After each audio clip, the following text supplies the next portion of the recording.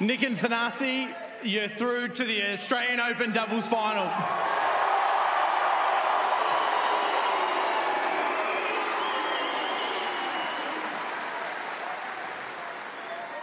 First of all, let's touch on this. Did you ever think Rod Laver, Rod Laver Arena could sound this good? Oh man, it was-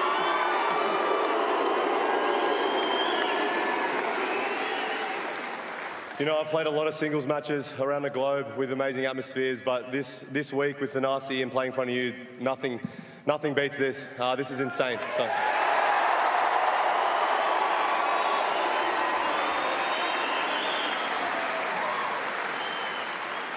It really looked like today there was a different focus from you guys. It's been about the show, it's been about the journey to this point. Today, you guys actually really made it about the tennis. You took on one of the best doubles combination in the world. So, so far this week, you've beaten the one seeds, the three seeds, the six seeds, the 15 seeds. Today was about the tennis, though. You guys are playing some incredible doubles out here. Thank you.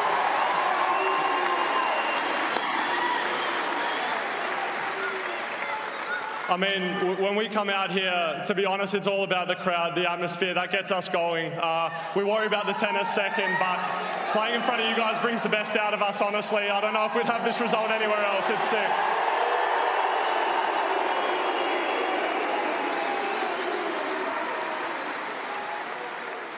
What is it about you two guys that makes you so dangerous, that's got you to this point, that makes everyone here love this so much? What, what do you think it is? I don't know. I, I think both of us bring something different, a different energy, a different sort of charisma on the court, but we just enjoy it. We have fun out there, and I think that shows, and I think that's why hopefully you guys come like watching us, but I think we're unpredictable, and I think that's why they enjoy it.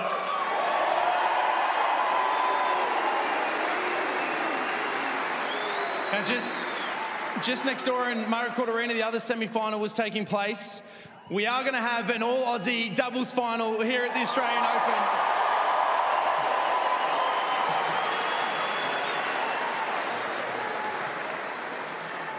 First of all, what do you think about that? I mean, that's got to be something pretty special. Obviously, Matt and Max in the final. Yeah, definitely. Those two are, um, you know, great doubles players. We're not going to take them lightly. Um, but I mean, it's, they're obviously playing some good tennis. It's the final, so you know, I'm, I'm looking forward to it. It's great to see some Aussies having success this week. Obviously, Ash on the women's side is doing her thing. Um, but yeah, I'm looking forward to it. I'm just looking forward to my. Uh, we have a day off. I think you play on Saturday night. I think. Perfect. All right. Well, Well, Saturday. Let, I know Thanasi likes that. Yeah. I'd rather a Saturday than a Sunday, so I'm loving it. Um, but yeah, I'm just, you know, I'm super excited. I'm just, I'm just soaking it all in. So. yeah.